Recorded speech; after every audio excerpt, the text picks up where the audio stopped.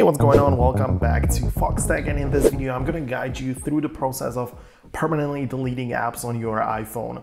It is a straightforward process, but uh, there are a few details you need to know to ensure the apps are completely removed from your device. At first, it's important to understand that some system settings or like apps on the iPhone, as I said already, the settings app, for example, or photos or the phone app, these cannot be deleted. And these apps are essential parts of the iPhone's operating system. So you cannot delete them, but you can hide them from your home screen or even disable them using restrictions. For example, Safari can be restricted so it disappears from your home screen, but it still cannot be deleted.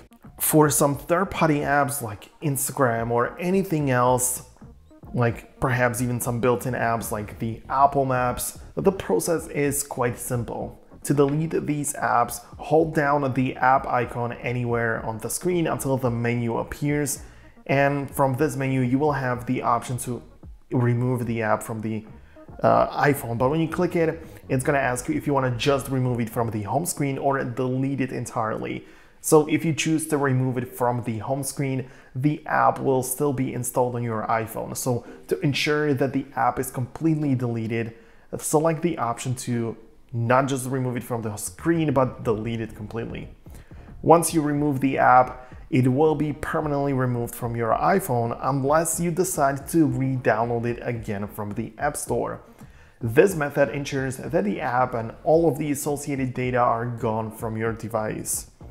There is another method called offloading apps, which can cause some confusion because in the settings app, under the iPhone storage section, you have the option to offload apps. Offloading an app will remove the app itself, but keeps the data that pertain to that app on your device. This means that when you reinstall the app, you can pick up right where you left off and if your goal is to permanently delete an app, make sure you do not just offload it, but remove it entirely. So thank you very much for watching this video on Foxtecc. If you found it helpful, leave a thumbs up, subscribe below, and I will catch you in the future.